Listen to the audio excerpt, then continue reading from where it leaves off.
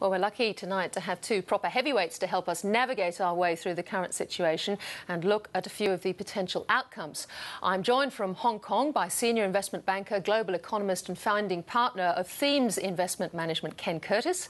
And here in the studio with me in Sydney is Bob Bauer, chief global economist at Principal Global Investors.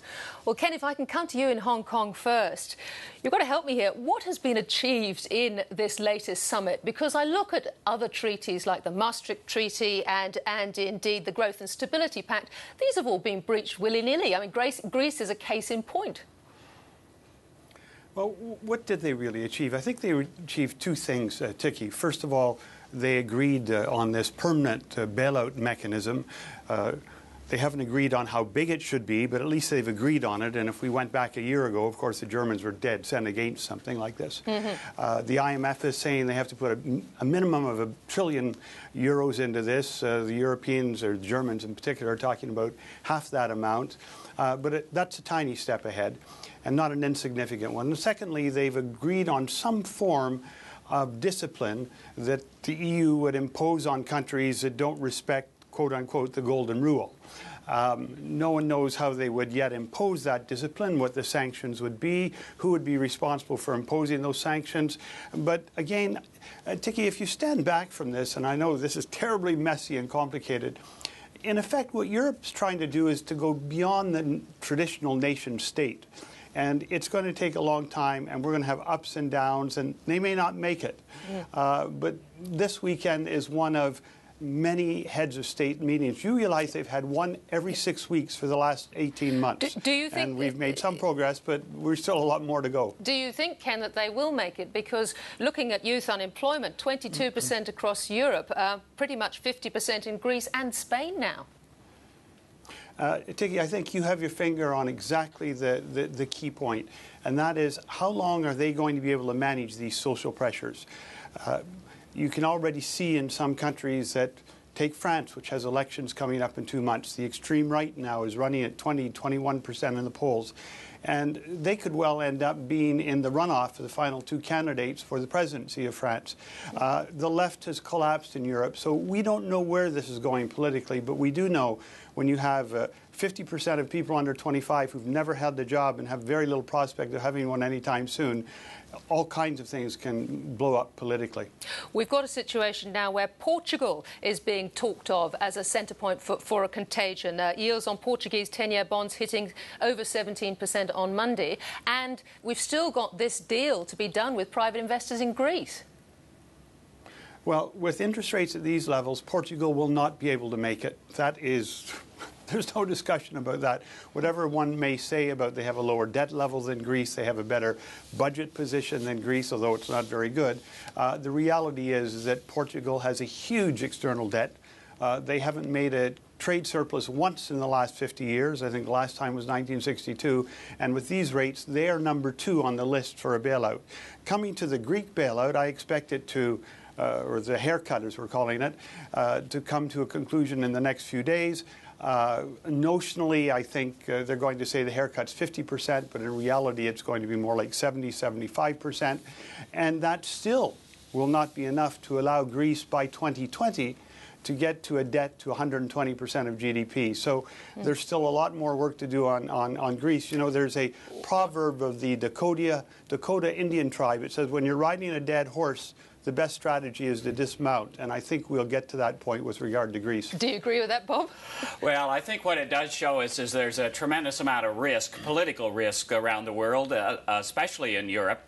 Uh, I do think, though, it's in everybody's interest, everybody's interest, uh, both the creditors and the uh, uh, citizens of Greece, the officials, uh, the countrymen. I think it's in everybody's interest that it, that Europe at least muddles through, and I think that's the most likely scenario. Mm.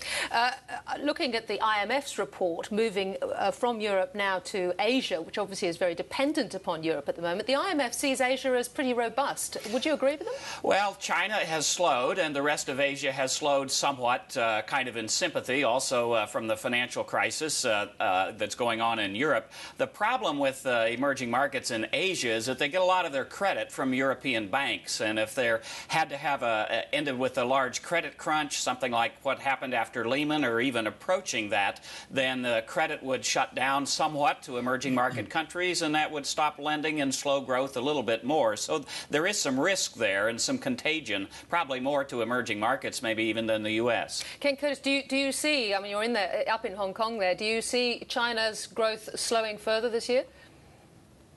Uh, well, China, I think, will do everything from here uh, to stop it going much further.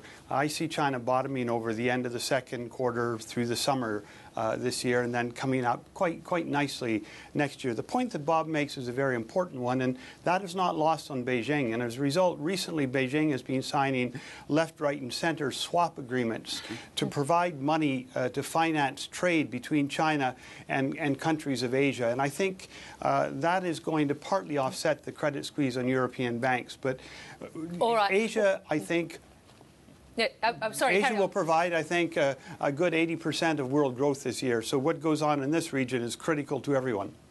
Now, uh, meanwhile, Bob Bauer, uh, you have some very uh, bullish views on America as a, a, at least a, a, short to medium term place to go from an investment point of view. Well, frankly, we think the U.S. economy is now self sustaining. The expansion is doing the things that it needs to have happen. We think job growth is improving, and the pace by the end of the year we think will uh, be much better than it is now. In terms of jobs, I think business has stretched the productivity as far as they can more sales then will mean more jobs. Uh, state government spending has been shrinking. I think that will end by mid-year. Uh, housing, the housing industry, we think is bottoming. Profit growth has been spectacular. You know, to have a double dip, you really need some excesses, and we just don't see the excesses. So we look at the fundamentals in the U.S. of the economy as as better than the uh, consensus would believe. And do you think uh, the government will be able to crack unemployment? Uh, I think it's coming down. It's already come down from what 10.3 to 8.5, and I believe it will continue to come down. We expect the pace of job growth to pick up probably at the middle of the year. Private sector job growth in every month of the last six months was 155,000. Not quite enough, but enough to start bringing it down. Meanwhile, the same IMF report is talking about Australia as being in a bit of a, a purple patch with lots of room to move uh, fiscally itself. Do you think? Uh, do you agree with that? That where we can depend on these continuing boom in, in China and we should doggedly go for that surplus next year?